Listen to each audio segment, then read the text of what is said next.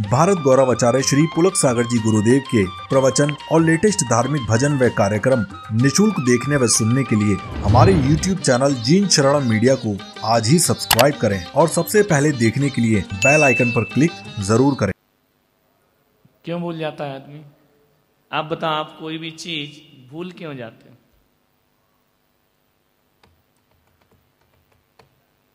कारण बताइए। कुछ भूलते हो या बहुत कुछ भूल जाते हो? कल का पढ़ा, आज भूल जाते हो? चलो, यदि मैं आपसे कहूँ कि तीन दिन पहले, चार दिन पहले आपने क्या खाया था? याद रहेगा, भूल जाओ। एक एक आइटम बताना। तो सोचना पड़ेगा कि यार, क्या खाया था? फिर सोचेगा, रोटी खाई थी, पराठा, पता नहीं क्या खाया था। तो चार दिन पहले का भूल जाते हो। क्यों भूलते हैं? हम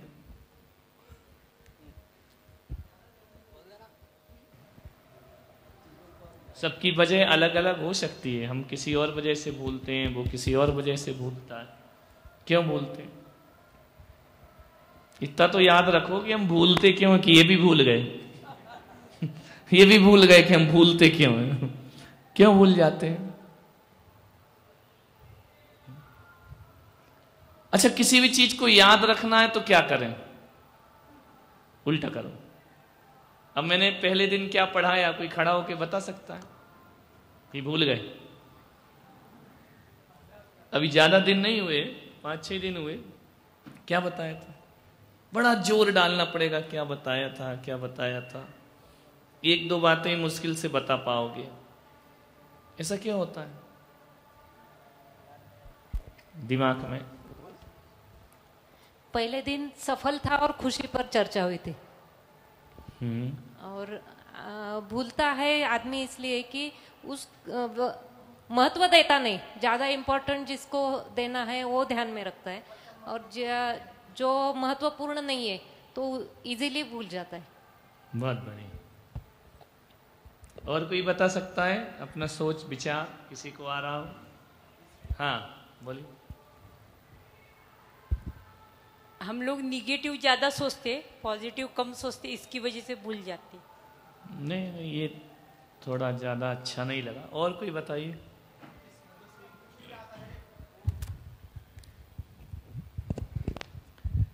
हाँ बोलो। माइक कहाँ गया? माइक ले जिसमें खुशी ज़्यादा रहती है ना वो ध्यान में रहता है। खुशी? हाँ। सफल हमने तो ये सुना है कि खुशी नहीं कोई यदि गाली दे तो ज़िंदगी भर याद रहती है। और कोई प्रशंसा करे तो हम भूल जाते हैं। तो गाली में खुशी मिली क्या आपको? हम्म? किसी ने अपमान किया तो जीवन भर याद रहता है। तो उसमें अपमान में कौन सी खुशी मिल रही थी अपने को?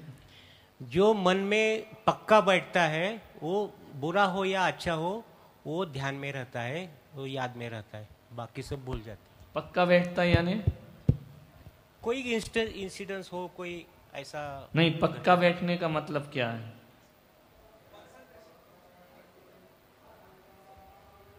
वही हो गया ना कि ध्यान।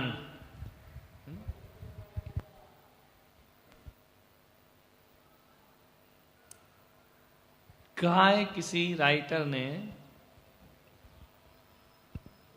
किसी भी चीज़ को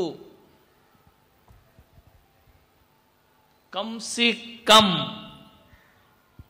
दस हज़ार बार दोहराओ तो वो हमारी मेमोरी बन जाती है। खाना कितनी बार खा चुके हैं अपन? पैदा हुए जब से। घबराओ नहीं कि दस हज़ार तो यार बहुत ज़्यादा होते हैं। दस हज़ार से ज़्यादा बार तो अपन पानी पी चुके हैं। दस हज़ार से ज़्यादा बार तो अपन भोजन कर चुके हैं। दस हज़ार से ज़्यादा बार अपन नींद ले चुके हैं। ले चुके ना? तो दस हज़ार बार आप उसको दोहराइए। तो दुनिया की कोई भी ताकत आपकी उस मेमोरी को डिलीट नहीं कर पाएगा। समझ में आ रहा? तो उसको बोलिए। जैसे अपन कई लोग भक्तामर पढ़ते हैं, है ना? तो याद हो जाता फिर काम भी करते रहते और पाठ भी चलता रहता है। भूलते हो क्या? चलो, भक्तामर तो छोड़ो, ये सब सेठ लोग बैठे हैं। यदि मंदिर में माला फेरते हैं और कोई बाजू में ज़ोर से पूजा करे तो डिस्टर्ब होता है? कि यार, मेरा मन नहीं लग रहा है माला फेरने बड़ा डिस्टर्ब होता है। कोई ज़ोर से पूजा कर रहा, कोई ज़ोर से स्वाध्याय कर रहा, कोई बात कर रहा है तो अपना ध्यान माला में जाता है या वहाँ जाता है?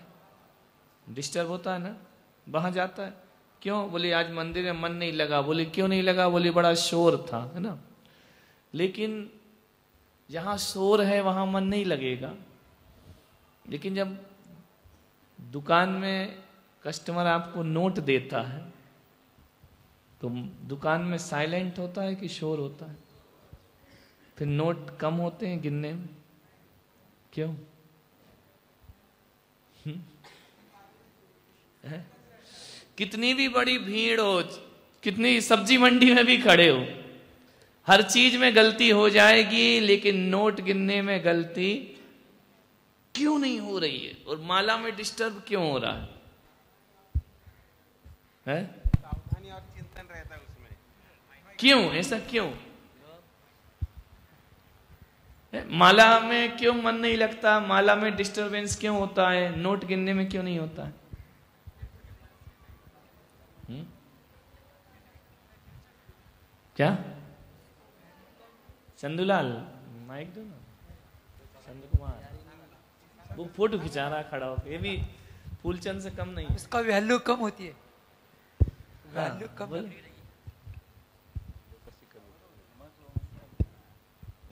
पैसे को ज़्यादा महत्व देते हैं हम लोग। क्योंकि माला फेरते तो ऐसे सब चले जाते हाँ मंदिर चलो। क्या मतलब फालतू? नियम दे दिया फिर लिया कुछ होता होता तो है नहीं है? देखो।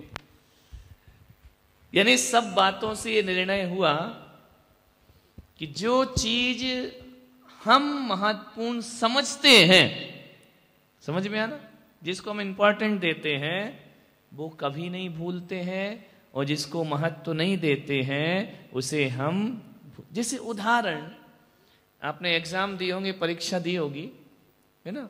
सबके बातों से यही तो डिसीज़न आया। तो उदाहरण के स्वरूप आपने एग्ज़ाम दिया। आपको रोल नंबर दिए जाते थे। पहले, अब अब क्या होता नहीं मालूम। रोल नंबर तो होता है ना? है ना? रोल नंबर होता है कि आपका रोल नंबर ये है। तो वो रोल नंबर एग्ज़ाम के बाद याद रहता है क्या? हम्म? यदि मैं पूछूँ कि आपका टेंथ में रोल नंबर क्या था, वो याद रहता है क्या? क्यों नहीं रहता? कि हमारे लिए वो अनुपयोगी हो गया है ना? अब अब क्या ज़रूरत उसकी याद रखने की? तो इसका मतलब है कि आदमी भूलता स्वभाव से नहीं है। समझ में आ रहा? जो मेमोरी बोलते ना, अपनी लॉस होती नहीं है। एक आदत नहीं है कि हम भूल गए, एक आदत बन गई। कोई आदत नहीं है। ध्यान रखना। ये भूलना और याद रखना, ये जो दोनों चीज़ें हमारी मानसिकता पर डिपेंड है। किस पर डिपेंड हमारी मेंटलिटी क्या है? समझ में आ रहा? ये कोई रोग नहीं है, ये कोई बीमारी नहीं है कि मुझे मन नहीं लगता, मैं भूल जाता हूँ, मैं पढ़ाई में भूल जाता हूँ, मैं काम करना भूल जाता हूँ, जो आप कल पढ़ा रहे वो मैं आज भूल जाता हूँ। ये कोई एक प्रकार की आदत नहीं है कि भूलना ही हमारी आदत है। ये हमारी मानसिकता पर डिपेंड करता है कि हम किसे याद रखना चाहते हैं और किसे भूलना चाहते हैं। तो जो उपयोगी है, उसे हम याद रखते हैं। जो अनुपयोगी है, उसे हम भूल जाते हैं। अब आपको यह देखना है कि मेरे जीवन में उपयोगी चीज़ें क्या हैं। किसी का गुस्सा याद रखना इतना इंपॉर्टेंट है, महत्वपूर्ण है। किसी की गाली याद रखना इतनी महत्वपूर्ण है। बोलो। फिर क्यों याद रखते हो? अपने आप नहीं आता। आदत नहीं है ये। हमने उसकी गाली को महत्व दिया है, इसलिए याद। अभी तुम लोगों ने बताया ना कि भाई जिसको हम महत्वपूर्ण समझेंगे इंपॉर्टेंट समझेंगे, वो याद रहेगा। अब आपको अच्छी बातें याद रहती हैं या बुरी बातें ज़्यादा याद रहती हैं? बोलिए। क्यों रहती हैं बुरी बातें याद? क्योंकि मैं बुरा हूँ। समझ में आए? समझ में आ रहा कि नहीं आ रहा? सामने वाला बुरा नहीं है। कौन बुरा है? इसलिए मैंने कहा था ना कि अपने आप से माफ़ी मांगो कि मैंने उसकी बातों को याद रखा। यानी आप उस गलत बातों पर ज़्यादा ध्यान देते हैं, अच्छी बातों पर ध्यान नहीं देते। इसलिए अपने आप से कहना पूरी ताकत और ईमानदारी से आई एम बैड मैन कह सकते या नहीं? बोलो। कहोगे तो गुड मैन बनोगे। नहीं तो नहीं तो क्या होगा कि हम इस कमज़ोरी को भी अपनी अच्छाई समझेंगे। समझ में आ रहा? इस गलत बात को भी, अपन गलत विचार रखते हैं, गलत बातें याद रखते हैं, उसके बाद भी यदि कोई आपको खराब बोल दे तो बुरा लगता है या नहीं लगता है? बोलो। लगता है ना बुरा? वो बुरा क्यों लगता है, जबकि सामने वाला सच बोल रहा है? हुँ? सच बोल रहा है कि गलत बोल रहा है? सही बोल रहा है? अब बुरा क्यों लग रहा है? क्योंकि मैं अच्छा होना नहीं चाहता हूँ। इस जो दोपहर को मैंने क्लास में पढ़ाई है, उसका मूल उद्देश्य एक ही था कि मुझे कषायों से मुक्त होना है और अच्छा आदमी बनना है। समझ में आ रहा? अच्छा आदमी स्वयं से बनना या दूसरा कोई बनाएगा? कि सामने वाला अच्छा होगा तो मैं अच्छा होऊँगा। यदि सामने वाला बुरा है तो मैं उसके साथ बुरा होना चाहिए, मुझे या अच्छा होना चाहिए? चाहिए तो छोड़ो, हम अच्छे बनते उस समय या बुरे बनते इसलिए आज आपको एक सूत्र याद रखना है कि मैं मेमोरी मेरी कभी खत्म नहीं होती है। दिमाग तो हमेशा ही सही हुआ करता है, लेकिन जिस चीज़ को हम महत्व देते हैं, वो हमारी मेमोरी में रहता है और जिसको महत्व नहीं देते, वो डिलीट हो जाया करता है। अब देखना ये है कि हम किन चीज़ों को महत्व देते हैं, बुरी चीज़ों को या अच्छी चीज़ों को? ये अपने को सोचना है। यदि अच्छी चीज़ों को देंगे तो हमारे दिमाग में अच्छी चीज़ें रहेंगी। बुरी चीज़ों को महत्व देंगे तो दिमाग में बुरी चीज़ रहेगी। समझ में आ रहा है? तो किन किन चीज़ों को महत्व देना है? अब जैसे गुस्सा आया सामने वाले को, उसने ऐसा बोला, गुस्से में इतना गंदा बोला, इतना मेरा अपमान कर दिया, अब तो मेरा बोलने का ही मन नहीं कर रहा है। आप जितना अपमान सोच रहे हैं उतना हुआ है क्या? बोलिए, हमारी बेजती कर दी, हमारी इंसल्ट हो गई, हमारा तो स्वाभिमान मिटा दिया, हमारा तो सम्मान खत्म कर, ये आप सोच रहे हैं या इतना हुआ है? बोलिए, हुआ है इतना कि आप सो, चार लोगों में, चार लोगों को तो पता ही नहीं है, और लेकिन दिमाग क्या सोच रहा है? चार लोगों में मेरी इज़्ज़त खराब जबकि चार लोगों ने आपकी उस घटना को ध्यान से देखा ही नहीं है। लेकिन हमने दिमाग में क्या बना लिया? हमारी इज़्ज़त खत्म हो गई। हमारी बेइज्जती कर दी। सही में होता है या नहीं ऐसा? बोलिए। तो अब वो बातें दिमाग में रहेंगी या नहीं रहेंगी? अब वो बातें यदि दिमाग में रहेंगी तो कषाय पैदा होगी या नहीं होगी? होगी ना? तो आप अपने मन से अपना संसार नहीं बना रहे? बोलिए, मान लो किसी ने आपको कुछ बोला और आपने भी उसको पलट के जवाब दे दिया, है ना? चलो, आप गुस्से में तुमने बोला, सामने वाले में बोला। अब दूसरा पॉइंट पे ध्यान देना।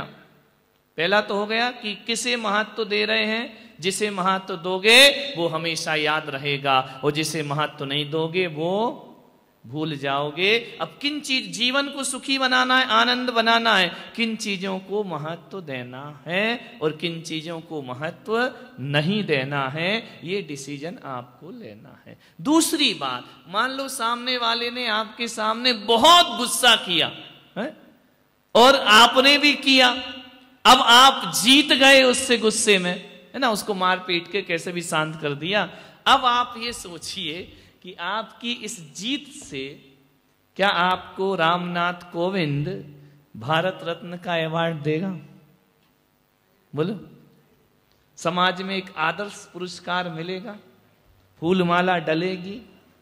बोलो, स्वागत होगा। अरे, मैं जीत गया, मैं जीत गया। ध्यान रखिए, यदि ये दिमाग में ले आओ कि यदि मैं सामने वाले से जीत भी गया तो मैंने कौन सा बहुत बड़ा काम कर लिया?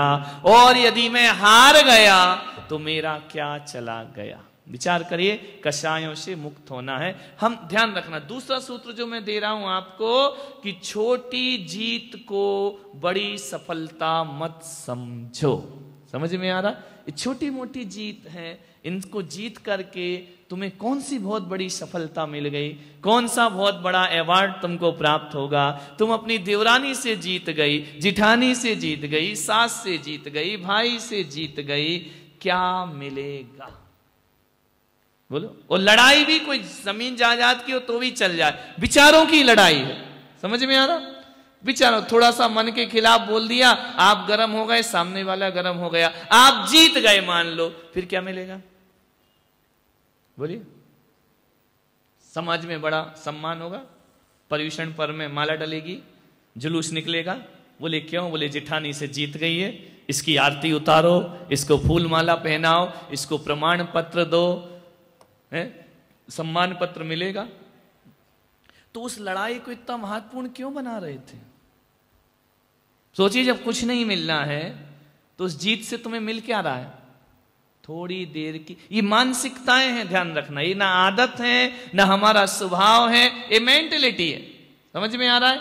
यदि आप उस समय ये विचार ले आओ कि सामने वाला गुस्सा कर रहा है, मुझे गाली दे रहा है, मेरा अपमान कर रहा है, चलो बदले में मैं इसको कुछ कर भी दूँ तो मेरा कौन सा बहुत बड़ा सम्मान हो जाएगा? ऐसी ही सोच, पारसनाथ कमठ के सामने लगा रहे थे।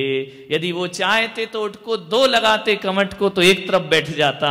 लेकिन उन्होंने कहा, इसको जीतने से मुझे मिलेगा क्या? और यदि मैंने इसकी जगह अपनी मानसिकता को जीत लिया तो मुझे मोक्ष की प्राप्ति होगी। कल्याण की प्राप्ति। मोक्ष माने क्या?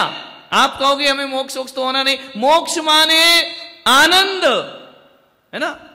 जब आप ये सोच लेंगे कि उसकी जीत से मुझे क्या मिलेगा, कर लेने दो उसको, आपको करंट में आनंद प्राप्त होगा। समझ में आ रहा? आपको खुशी मिलेगी, आप कषायों से मुक्त होने लगेंगे।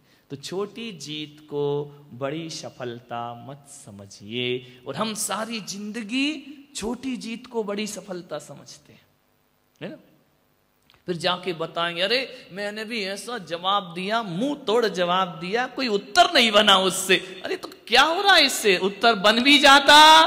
तो जिससे बता रहे वो कौन सा तुम्हें माला पहनाता? नहीं बना तो वो कौन सा तुम पे हंस रहा है? ध्यान रखना, ये सारी चीज़ें हमारी मानसिकता पर निर्भर हैं। हमारी मानसिकता कैसी